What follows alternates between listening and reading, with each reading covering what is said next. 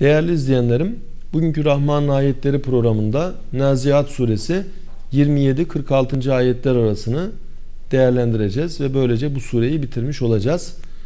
Allahu Teala burada bize şöyle bildiriyor. E entum eşeddu halgan emis sema. Yaratılış noktasında siz mi daha çetinsiniz yoksa sema mı? Benahe Allah semayı bina etti. Yani elbette sema bize nispetle çok daha büyük, çok daha muhteşem. Semanın bina edilmesi, tanzim edilmesi insanın yaratılmasına nispetle çok daha büyük bir olay. Burada ayette bunun nazara verilmesi semayı tanzim eden bir güç, bir kudret sizi tekrar diriltmekten, öldükten sonra yeni bir hayata kavuşturmaktan elbette aciz değildir. Bu manayı ifade ediyor. Sema dediğimizde seba semavat Kur'an-ı Kerim'de semanın yedi mertebesinden söz edilir. Ve bütün alemlerin kendine göre semaları bulunmakta. Mesela gök kubbe bizim semamız ve o gök kubbe üzerimize yükseltilmiş gayet muhteşem bir şekilde e, bir manzara e, ihtiva ediyor. Diğer semalar onların da kendilerine göre e, kubbeleri bulunmakta. Ve alem o kadar geniş ki sınırlarını biz bilemiyoruz. Biz şu anda dünya denilen bir gezegende hayatımızı devam ettiriyoruz. Dünya güneşin etrafında dönüyor. Güneş Samanyolu galaksisinde 200 milyar e, yıldızdan sadece bir tanesi ve Samanyolu galaksisi alemdeki e, sayısını bilemediğimiz ama en az 100 milyar olduğu tahmin edilen galaksilerden sadece bir tanesi. Böyle olunca o kadar uçsuz bucaksız bir alem içerisinde insan e, adeta bir karınca hatta bir karınca bile değil adeta bir zerre görülmeyecek kadar küçücük bir varlık. İşte bu küçücük varlığa Allahü Teala büyük bir önem veriyor.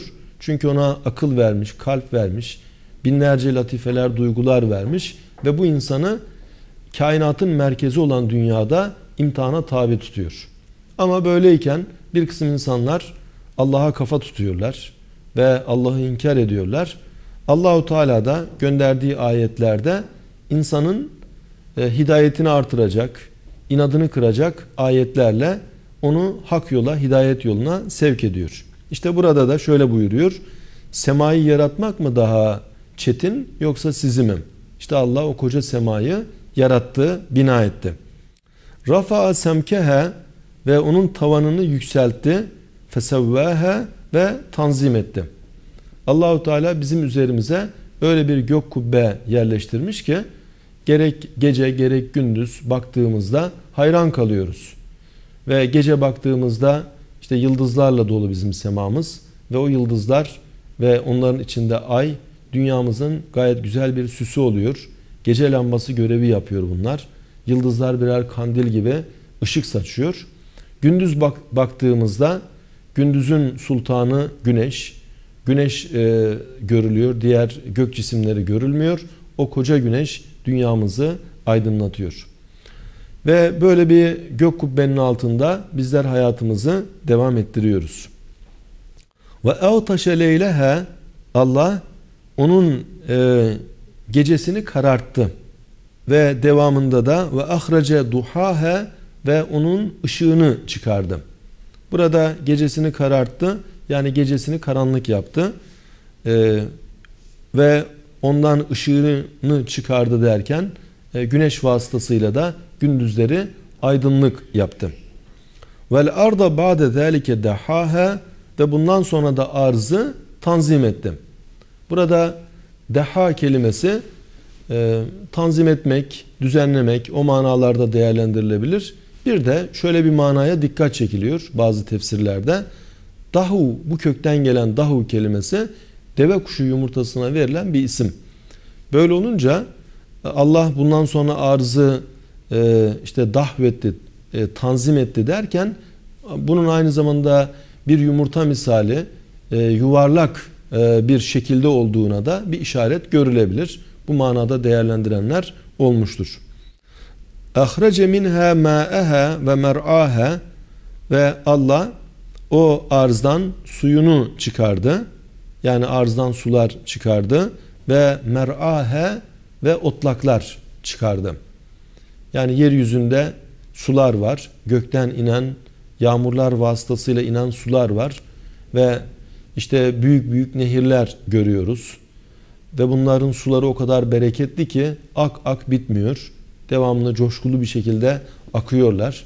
Öte yandan yeraltı suları var. Yerin altında da adeta nehirler bulunmakta. Üzerimizde bulutlar adeta bir okyanus gibi e, o kadar suları kendinde barındırır bir şekilde bulutlar şeklinde üzerimizde dolaştırılmakta. Ve su bu şekilde dünyamızda temel unsurlardan birisi ve hayatın da menşei, kaynağı hayat su ile başlatılmış, su ile devam ettiriliyor. Vel cibale ersaha ve Allah dağları bir ağırlık olarak yeryüzüne yerleştirdi. Yani bir gemi nasıl ki bir limana e, yanaşıyor, onun gibi dağları da e, uygun yerlere Allahu Teala yerleştirdi. Meta'allekum ve le'enamikum Allah bütün bunları hem size hem de hayvanlarınıza faydalı olsun diye yaptı. Yani yeryüzünün bu şekilde tanzim edilmesi, semanın e, buna göre e, yapılması, semanın yükseltilmesi gibi durumlar hem sizin hem de hayvanlarınız içindir. Çünkü bu tarz bir sistemden hem biz istifade ediyoruz hem de e, işte koyun, keçi, deve, sığır gibi insana hizmetkar olarak yaratılan hayvanlar ve daha diğer canlılar onlar da e, bu şekilde istifade ediyorlar. Hem sizin hem de hayvanlarınız için denilmesi aslında hayvanlar Allah'ındır ama sizin hayvanlarınız denilmesi bu hayvanlar sizin için yaratıldı. Merkezde siz varsınız işte o koca deve büyüklüğüne rağmen sizin emrinize ram oluyor. Sütünden istifade ediyorsunuz, yününden istifade ediyorsunuz. Hatta isterseniz Bismillah Allahu Ekber diyerek kesip yiyorsunuz. Ee, işte bu şekilde bunlar emrinize amade kılındı ve kainat çapında her taraftan size nimetler gönderildi. Fe izâ câetit tâmmetül kübra tâmmetül kübra geldiğinde her şeyi silecek, süpürecek olan o dehşetli kıyamet geldiğinde يَوْمَ يَتَذَكَّرُ الْاِنْسَانُ مَا سَعَى O gün insan neyin peşinde koştuğunu tezekkür eder. Yani ben dünyada neyin peşinde koştum? İşte herkes bir şeyin peşinde koşuyor. Hayra mı koşmuş, şerre mi koşmuş? Diğer aleme gittiğinde her insan bunu tezekkür edecek ve anlayacak. Ve burrizetil cahimu limen yara cehennem gören kimse için artık gözler önündedir ve bariz bir hale gelmiştir. فَاَمَّا مَنْ تَغَى ama kim tuyana sapacak olursa, azgınlaşacak olursa ve atharal hayate dünya ve dünya hayatını tercih edecek olursa yani her kim haddi aşıp azgınlaşıp dünya hayatını tercih ederse fe innel cahime hiyel me'va onun varacağı yer cehennemdir. Cehennem ateşidir. Ve emmâ men khâfe makâme rabbihi kim de Rabbinin makamından korkar ve nehen nefse anil heva ve nefsi hevadan sakındırırsa fe innel cennete hiyel me'va onun varacağı yerde cennettir. Değerli izleyenlerim Kur'an'da ikili bir anlatım var. İşte kim tuğyana sapsa ve dünya hayatını tercih etse denildi. Bunlar için cehennem var. Kim de Rabbinin makamından korksa demek ki tuğyanın haddi aşmanın ilacı bu. Kim de Rabbinin makamından korksa yani e, Rabbi derken alemlerin Rabbidir o. Dolayısıyla alemlerin Rabbine saygı duyulması gerekir ve e, Rab olarak tanınıp e, ona e, itaat içinde bulunmak gerekir. İşte her kim bunu yapsa nefsinin tuğyanından kurtulmuş olur.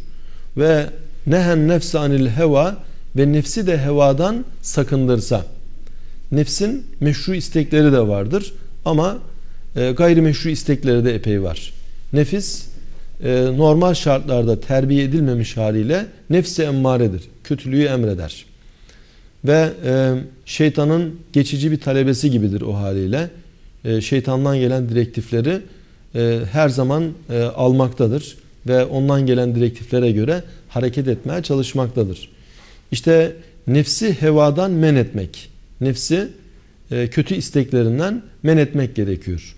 Şöyle örnek vereyim. Mesela zengin olmak nefsin istediği bir şeydir. İnsan meşru bir şekilde zengin olabilir. Yani meşru işler yaparak, helalinden kazanarak zengin olabilir. Ama nefsin kendine kalırsa bu kadar bekleme lüzum yoktur. Kısa bir zamanda zengin olmanın yollarına bakmak lazım. Artık bu soygunla mı olur, mafyaya cılık yoluyla mı olur, e, hortumlamak yoluyla mı olur? Nefis bunları ister. Halbuki dinin terbiyesinden geçmiş olan bir nefis haramı helali bilir ve rüşvet gibi e, bir takım haram kazançlar e, artık nelerse bütün bunlardan uzak kalır ve nefsini bunlardan sakındırmış olur. Demek ki bir insan dinin emirlerini yasaklarını bilmekle e, nefsin baskısından tasallutundan kendini kurtarmış olur. İradesini o yönde güçlendirir. Bu durumda olan bir kimse için işte cennet var. Yes'elûneke anis saate iyyâne mursâhâ. Sana saati soruyorlar. Kıyametin geleceği vakti. Ne zaman e, demir alacak? Yani ne zaman kıyamet kopacak? Bunu sana soruyorlar. Fîme ente min zikrâhe yani onun zikrini sen nereden bileceksin? Yani bu konuda sana da e, kesin bilgi verilmemiştir.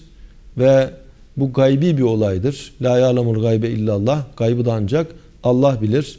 Kul innemel ilmu indallah. De ki gerçek ilim Allah katındadır. Böyle olunca kıyametle alakalı da gerçek ilim Allah nezdindedir. Bunu ancak e, o bilir. İşte e, onun zikrini sen nereden bileceksin? Böyle mana verildiği gibi e, sualin devamı olarak da sen bunun neresindesin? Yani kıyamette senin bir alakan var mı? Bunu soruyorlar. Malum Peygamberimiz Aleyhisselatü Vesselam ahir zaman peygamberi ve şöyle buyurmuş. Ene ve saati kehâzeyni e, ben ve kıyamet bu ikisi gibiyiz. Yani bu iki parmak nasıl birbirine yakın. Arada başka bir şey yok. İşte benden sonra da peygamber gelmeyecek ve kıyamet yakındır. Peygamberimiz bunu ifade ediyor. İlâ rabbike müntehâhe onun müntehası bununla alakalı bilginin e, varı, varacağı yer Rabbinedir. Yani Allah bunu bilir. E, Allah dışında kimse kıyametin ne zaman kopacağını kesin olarak bilemez. İnnemâ ente munziru men yahşâhe sen ancak ondan korkacak kimseyi uyaran bir kimsesin. Yani ey peygamber senin vazifen e, kıyametle uyarmaktır. Böyle bir gün gelecek bunu hatırlatmaktır. Yoksa şu zaman kopacak diye bunu haber vermek değildir. Kennehum yevme yeravneha o gün onu gördüklerinde kıyametin kopuşunu gördüklerinde lem yelbesu illa aşiyeten ev duhaha akşam üzeri bir miktar veya sabah bir miktar kalmış gibi kendilerini öyle görecekler. Yani kıyamet koptuğunda şu dünya hayatı artık onlara çok kısa gelecek. Sanki dünya hayatında çok az kalmışlar. Böyle değerlendirecekler. Ve hemen bir anda nasıl koptu? Sanki çok az bir zaman geçti. Kendilerine böyle gelecek. Değerli izleyenlerim, işte Kur'an-ı Kerim bu gibi önemli meseleleri bize anlatıyor. Allahu Teala'nın o sonsuz kudretini nazara vererek alemde bunları yaratan Allah elbette ölmüş insanları tekrar diriltmeye kadirdir. Bunları bize bildiriyor. Kıyamet hepimizi ilgilendiren bir konu. Gün gelecek, dünyanın ölümü gerçekleşecek, yeryüzünde hayat bitecek. Bizler insanlar olarak fani varlıklarız. Ee, ölümün pençesinden kurtulamıyoruz. Dünyaya gelen her insan üzerinde fanilik damgası olduğu halde geliyor ve dünyada kendine belirlenen müddeti tamamlayıp dünyadan gidiyor. Ama e, hayat sadece bu hayattan ibaret değil. E, işte kabir hayatı var. Vefat edenlerin gittiği alemde hayatları o şekilde devam ediyor. Ve ardından kıyametin kopmasından sonra ebedi bir alem gelecek. Ve artık o alemde hayat güneşi asla batmayacak. Orada hayat daimi olacak. Ve şu dünyada insanlar neler yapmışsa ona göre orada karşılığını alacaklar. Ya e, şekavet diyarında azap çekecekler veya saadet diyarı olan cennette Cenab-ı Hakk'ın özel lütuflarına, e, ikramlarına mazhar olacaklar. Cenab-ı Hak bizleri lütuflarına, ikramlarına mazhar olan bahtiyarlardan eylesin. Bir başka programımızda beraber olmak ümidiyle hayırlı günler, hayırlı geceler diliyorum.